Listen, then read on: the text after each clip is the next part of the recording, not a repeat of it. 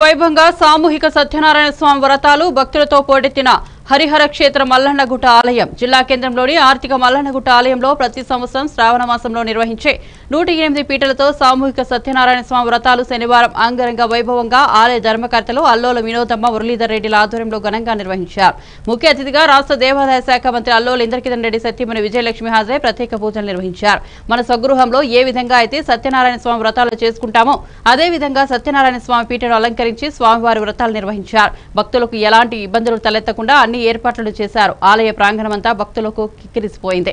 ఆలయ ప్రాంగణమంతా గోవింద నామస్మరణతో మారుమోగింది. అనంతరం భక్తులకు మహా అన్నదాన ప్రసాదాన్ని అందజేశారు. ఈ కార్యక్రమంలో ఆలయ గురుస్వామి నవాయుగ మూర్తి ఆలయ కోశాధికారి సామల వేణుగోపాల్ రెడ్డి ఆలయ పూజారులు భక్తులు తదితరులు పాల్గొన్నారు. మాటలంతా కుంకుమ వేస్తుండాలి గోప్తే మాత్రే అని కూడా గౌరవం మీద కుంకుమ వేయండి అందరూ. ఓం ప్రకృతయే ఓం వికృతయే నమ ఓం విద్యాయ నమ ఓం వసుధాయ నమ ఓం వసుధారిణ్యే నమ ఓం సుధాయ నమ ఓం కన్యాయ నమ వరదానకర్తయే నమ ప్రతిపుష్కనారాయణ స్వామి దేవత పూజనంచ కరిష్యే.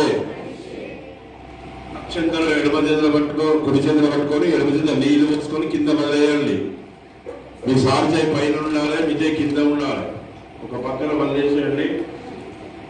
ఫలం వచ్చేన పృథ్వీ వాడి ముందర పృథ్వీ ముందర మన ముందర భూమి మీద కొన్ని నీళ్లు తల్లి భూదేవి పూజ చేయాలి పృథ్వీ దేవతాభ్యో నమ గంధాక్షిత పుష్పాణి సమర్పయామి పెట్టిన పసుపు కుంకుమ పృథ్వీ దేవతాభ్యో నమ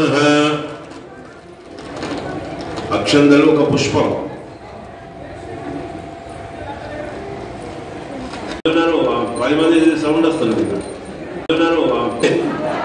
गृहपूजाञ्च कारयेत् गृहध्यानम् भवसः नानाविधवंशोद्भवसः अन्नकरणे सह कुटुम्बानां क्षेम स्थैर्य